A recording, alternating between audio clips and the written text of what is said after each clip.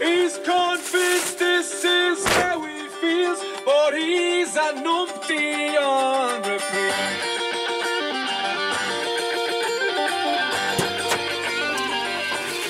Ready? Yes. Let's go. Need to beat on the man to drive the van. Took the John. Yeah.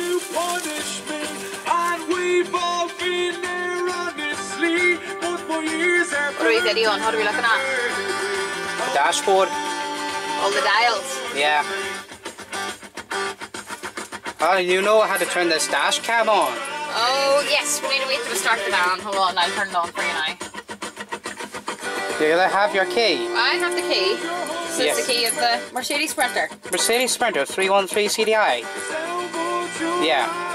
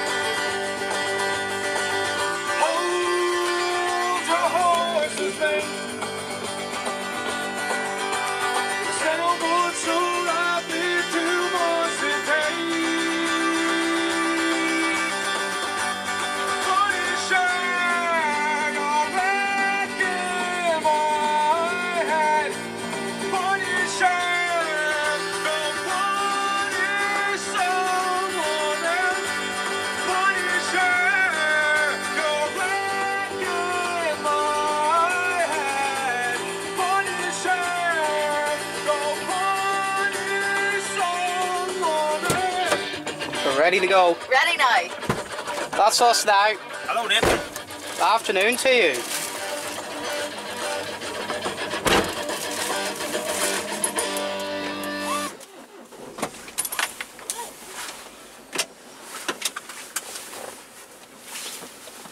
Where is our first destination? We're delighted to have them Kilkeel Harbour. Studio One. Remember, you can watch us on the RTE player and on News Now.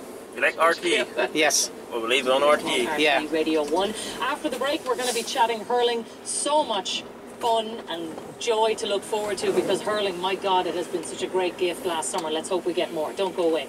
Sunday Sport on RTE Radio 1. Drive time with Mary Wilson. What van are we in, Nathan? The Mercedes Sprinter 313 CDI. Those concerns that we were hearing earlier from people in Kerry uh, about these wind turbines. I live in house in Galway between three witnesses. And to be honest with you, I have absolutely no problem with it. Now, admittedly, you'd say, I don't interest in arguing. I have an interest in You would say that. But I would say that, wouldn't I? Drive time with Mary Wilson. Weekdays from 4.30 on RTE Radio 1. Drive time on RTE Radio 1. Sponsored by Zurich. Thought of setting up a pension and put it off for That's another the dash cam working now, Nathan. See? Yeah. can help you get sorted. Pat McDonough here from Superman. We've been buying fresh chicken from Irish farmers for over 40 years because fresh Irish chicken means better quality and better taste. It's one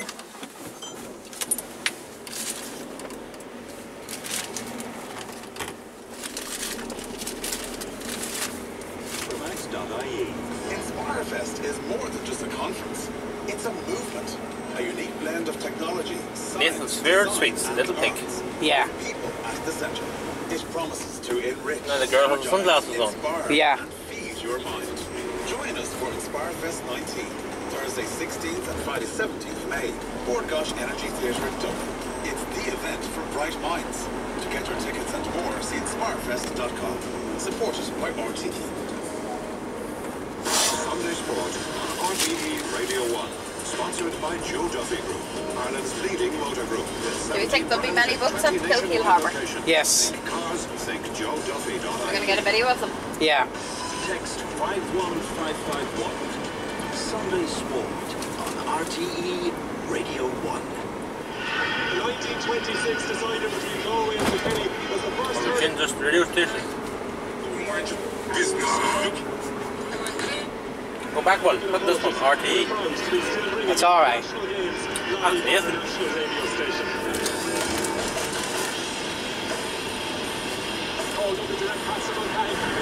See all the sheep? Yeah. Gerard McInerney said he's shoved up the ball by Tom Morrissey. He's heading straight for the goal. Here goes Tom. This is the chance. And the ball is in Limerick. Their time is now. They drive on far into glory for Limerick. Casey's heading up to the 30 minute line, trying to flick it across. Limerick piling up another goal here. And it is Joe Garlick. The super club have played it now. Today is the day Limerick dare to dream. And sure enough, the McCarthy Cup is Yes. to Shannon side on Monday night. The long serving Mulcahy to steady the ship for Limerick. Over it goes. It's 10th season. Be swimming pool. Limerick. Limerick need to clear their lines here. And they're coming out with the ball. They're working it out towards Morrissey. And the game is over. Limerick have done it. They're the All Ireland. You bring your iPhone with you? Yes.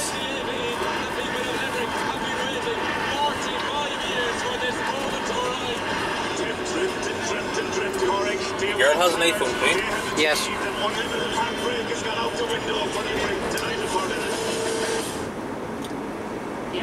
45 years of heartbreak ended last year for Limerick, and what style they won that All Ireland in. They didn't stop there because they went and they won the league title as well. Now we're going to look forward to Championship 2019. Delighted to say we have Shane like John Yeah. Land, Elaine Aylward, and Brian Carroll along with us. And John, Darren was making the point earlier with Tomas O'Shea that this is usually the time of the year that he says something that nice he short bread, shouldn't. isn't it? It's usually Yeah. the time of the year that you The boy said made the gonna short ride down Yeah. the Keys, Waterford, if Waterford naked if they win the All Ireland. So are we going to get those kind of promises this year from you, John? Absolutely not. There's really no irrational comments today.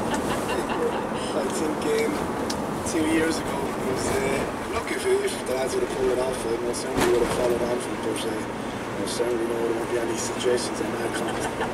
Just in case. Uh, Shane, I was thinking about it over the last few days and I was wondering what competition is there in the world that has what hurling has in terms of you just look at the vast amount of teams that can possibly win it. I mean, I, I can't think of another competition that has that, that kind of competitiveness.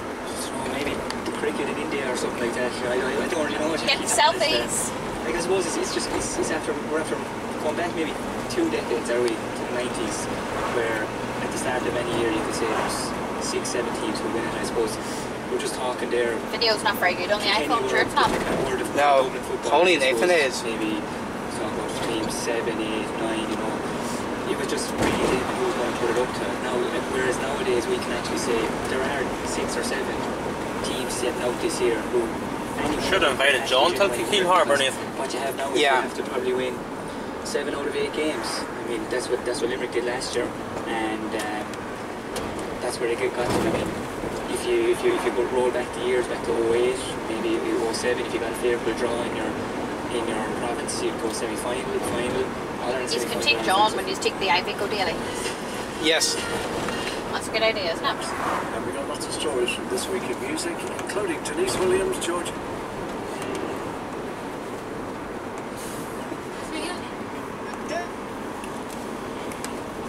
without doubt, the best team in the country, no questions What happened? What happened to the radio? It turned it over by itself. It's true because Did the man in the van turn it over, do you think? Yeah. different years, but I think we've Fan, done that fan was nowhere near the radio. Says quite rightly, you do really have to beat the absolute best to go and win an All Ireland. You're going to have every kind of challenge thrown at you.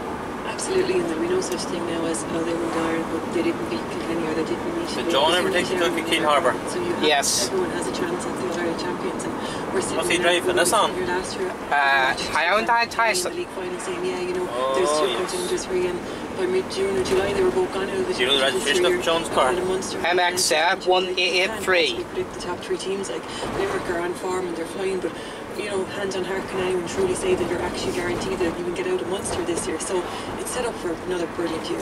Yeah, and look, Brian, we've already seen in the league. We're now approaching Kilkeel, Nathan. phenomenal. We're now approaching I know Kilkeel. but they didn't have it easy. Waterford in a final again, and I just think people are almost sort of.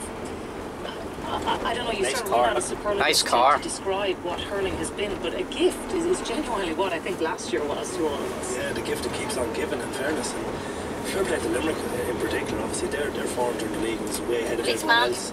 But I think the surprise team in the league was, was Dublin. You know, they topped 1B and Is he the they police set out their stall Yeah. very early in their Matty What's going on? and Parades? they- they- I won't say a surprise package for Leinster this year, but they're, they're definitely knocking on the door and they're, they're going to be really putting, I think, the likes of Kilkenny and uh, Wexford to, you know, under serious pressure trying to get out of Leinster as well. Look, it's all about Munster really. It, it's, it's a fantastic competition, but there's also a fantastic competition in Leinster as well, and we have, you know, no disrespect to Carlow, I think they're there on, on merit and they had a fantastic year last year with Colm Bonnar, but they'll be under pressure to try and make the top three, but any of the four teams can make it as well, so we have a fantastic competition in Leinster as well. Yeah, I'm looking forward to both of them, I have to say. Let's start with Munster, though, and I guess let's start with the All Ireland champions, Shane, because Limerick have, in so many ways, they have delivered and delivered. John Kiely has settled on a structure that really works for him. We've had sweepers, he now plays with sort of 12 men behind the ball.